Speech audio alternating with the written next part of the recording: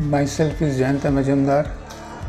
Uh, we are staying here at Eden Trolley Signature Plus near to Kabardanga.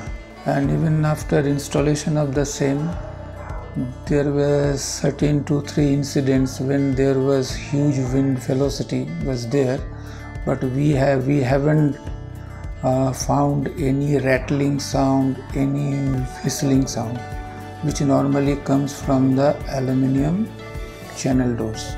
So in that way, still now we are using it. We are quite happy.